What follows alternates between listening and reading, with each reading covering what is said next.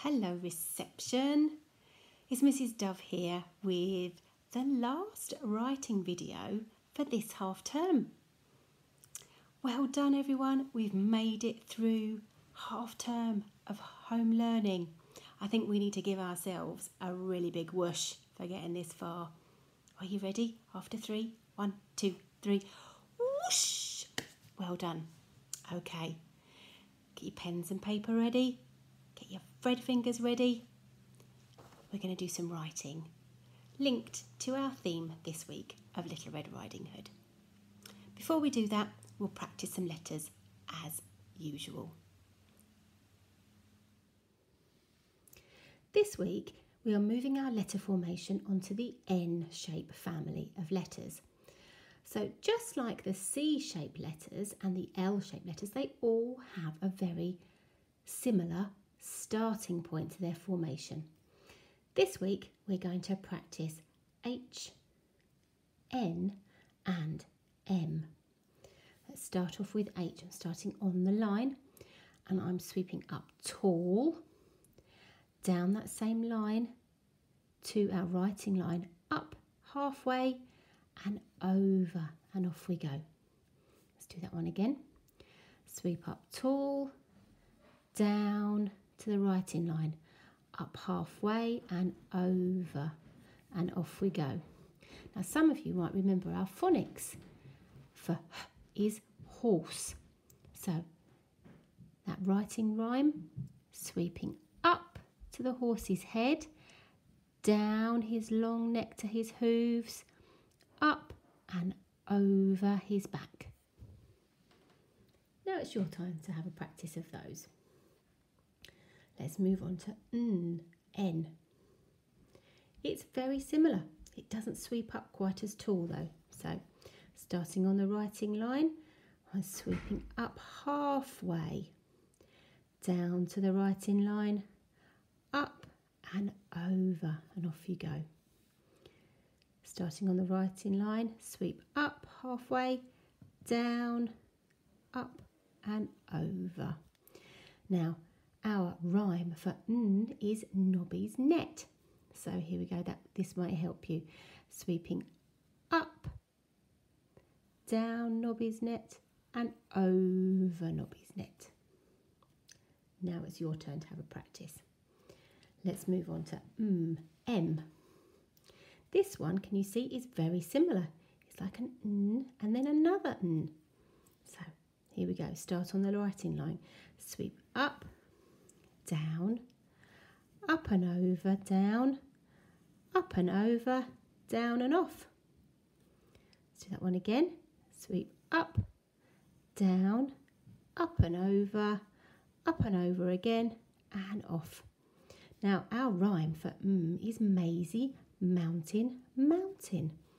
Okay, sweep up Maisie, down Maisie, mountain, mountain. Your turn. Here's a picture showing a scene from the story Little Red Riding Hood. I'd like your help to help me label some of the things we can see in the picture. Pause the video and tell your grown up what you can see in the picture. Okay, I wonder if you've seen the same things as me. So I'd like your help writing some words now. I can see a tree. Is that one of the things that you saw? Let's use our Fred fingers. We're going to be using some of those new digraphs and, and trigraphs that we've been learning over the last week. Tree. Can you get your Fred fingers ready? Okay r, e. That's one of our new sounds, isn't it? E. What can you see? E. T, r, e. Can you write that down? T, r, e. Oh, I mustn't forget that my digraph needs to hold hands. Tree, tree. Well done. I can see Little Red Riding Hood is reading a book. What sounds can you hear there?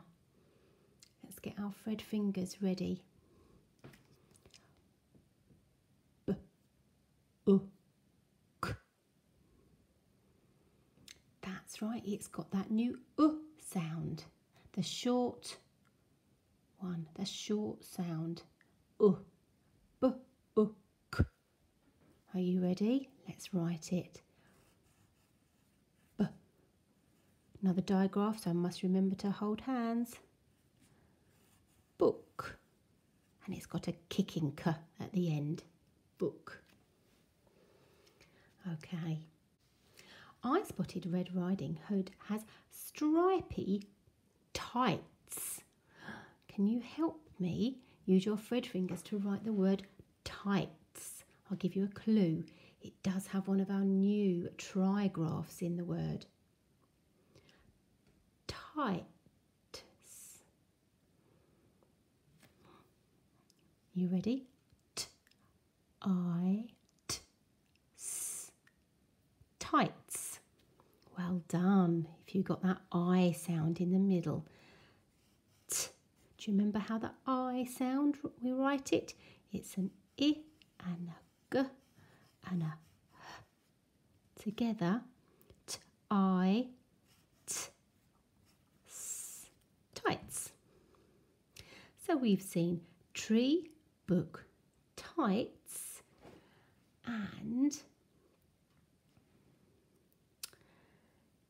it's a wood. I think you know which sounds we need. Are you ready? Uh. Well done. Wood. W. Again, it's a digraph. Join those hands Wood. Well done. Let's have a go at writing a sentence. Now that we've labelled that lovely picture, let's have a go at writing a sentence together. Can you remember what you need when we write a sentence, or there's some very special things that we must do when we're writing a sentence? First one, capital letters.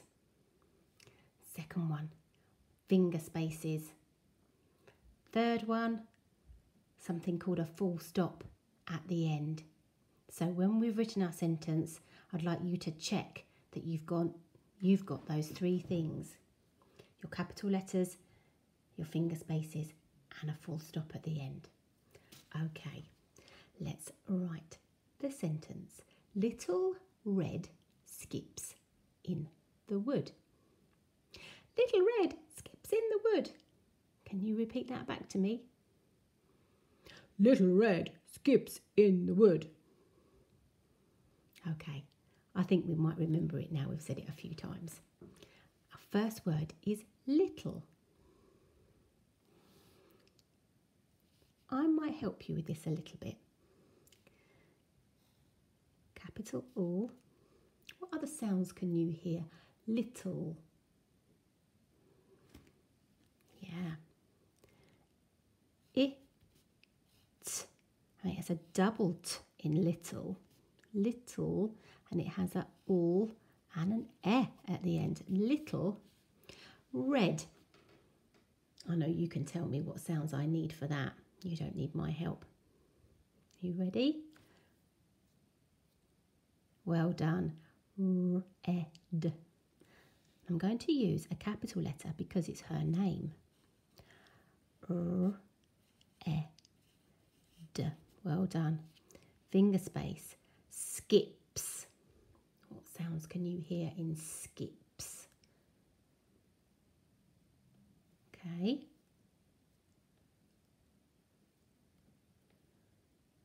There was quite a lot of sounds in that word, wasn't there? Sk, ip. Skips. Off we go. Remembering my finger space. S k, kicking k. I, p, s. Little red skips. Now I'm going to come down onto this line because I don't think I've got enough room. In. Well done. I. N. Next word is the. That's right, one of our red words, and we spell that eh. But when we read it, we say the. Little red skips in the wood. I'm going to have to think which digraph, which new digraph we need for wood. Are you ready? Well done. Joining hands for my digraph and that's it, I mustn't forget that full stop at the end. Now, if you'd like a challenge, perhaps you could have a think about some different sentences you could write about the story Little Red Riding Hood. Maybe it's not about this picture, maybe you've got the story at home and you could choose a picture from your storybook and write a sentence. Now, I expect if you showed your teacher your work, there might be some house points for you or something for your reach chart. We look forward to seeing your writing